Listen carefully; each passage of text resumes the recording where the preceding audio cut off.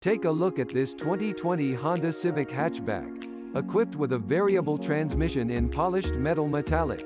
This car comes with some great features including adaptive cruise control, brake assist, alloy wheels, Android Auto and more.